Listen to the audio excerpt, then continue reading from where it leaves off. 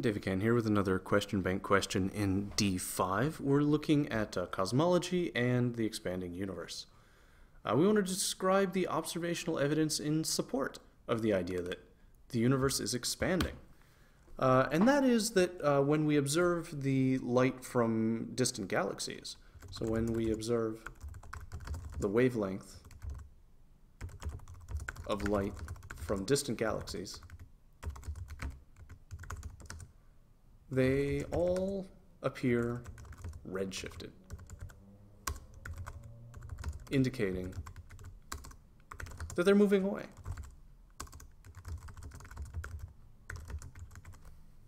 Uh, indicating expansion.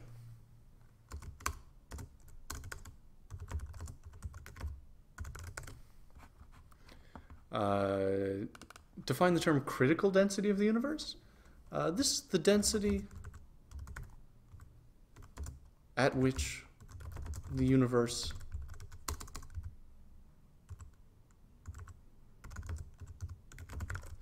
uh, is the density at which the universe's expansion will slow asymptotically.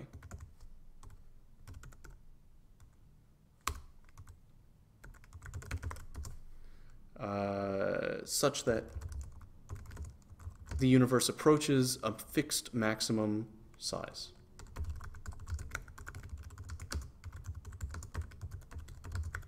So the universe will continue growing forever, but not infinitely. Uh, and it won't reverse either. So we wind up with, you know, a nice size universe eventually. It doesn't come back together and collapse, and it doesn't expand forever and rip itself apart. Uh, and that only happens at the critical density, uh, where the gravitational forces are just perfectly balanced uh, with the rate of expansion. Uh, discuss the significance of comparing the density of the universe to the critical density for determining the future of the universe. So the density of the universe will determine its future and gives us insight into the universe's past.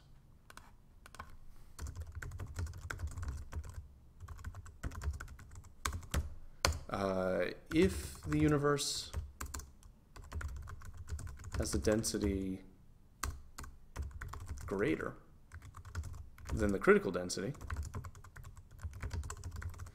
uh, then the universe is going to come back together.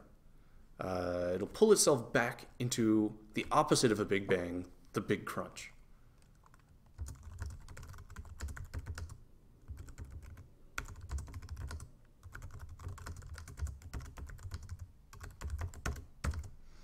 Uh, alternatively,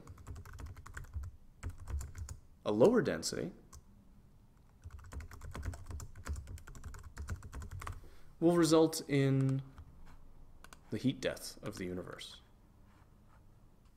Uh, what's going to happen is uh, it's going to approach infinite size.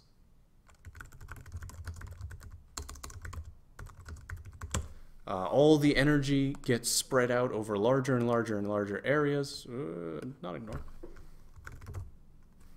Uh, such that the energy density of the universe approaches zero. Uh, it's like a big freeze.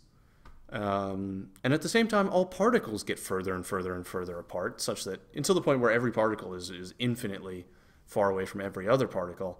Uh, so not only can you not get from anywhere to anywhere, you can't gather enough energy to attempt it anyway. Uh, so both cases are examples of deaths of the universe. Either it all crashes back together dramatically, or it all slowly spreads out and becomes nothing. Uh, yeah, uh, well, maybe I'll leave you with that thought. Coincidentally, this happens to be the last video that uh, I am making for the time being, so a nice, sad, uh, sort of philosophical thought to leave you with. Uh, how are our remains going to uh, disappear from our plane of being? A big crash or a slow fade?